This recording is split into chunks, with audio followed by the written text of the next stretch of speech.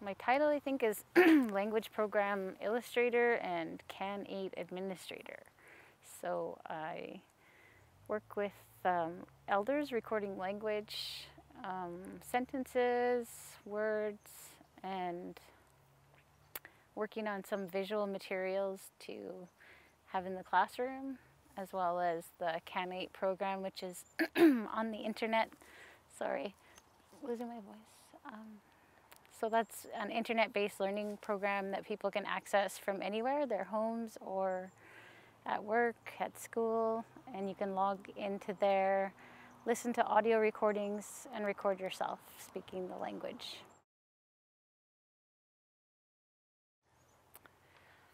Um, proudest accomplishments.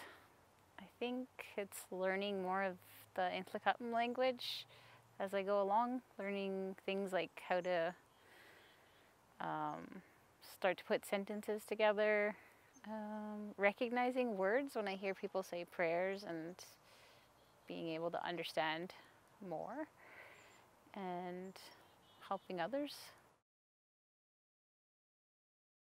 My favorite part is probably meeting people, getting to learn new things, um, just seeing people develop their skills and like youth are learning things about video and getting to see the things that they make and um, getting elders in and talking to them and people excited about all the different programs, culture, language, sports.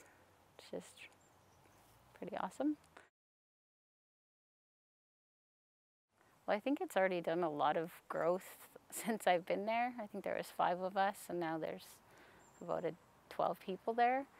So it's growing pretty good right now. I can't really foresee the future, but it seems like we're, we're making a lot of progress, starting some good programs, getting a lot of people involved, and people are starting to know what CNA is, whereas they, a lot of people didn't know before. Yes, I've gotten to know people. I have friends at work and friends um, through through the other work that I do, elders and people in different communities that I didn't know before. So it's the circle is getting bigger, I guess.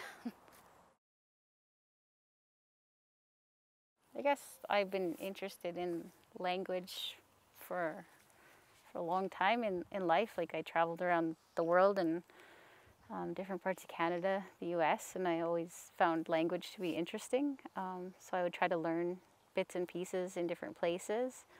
And my own language, like I grew up learning short phrases and like the, what you call your older brother, sister, family. And then just um, the more that I thought about it, language is really um, part of your identity. So it's pretty important to preserving our knowledge and history and things like that. So I applied for the job. Tamlin suggested I apply for it and I got it.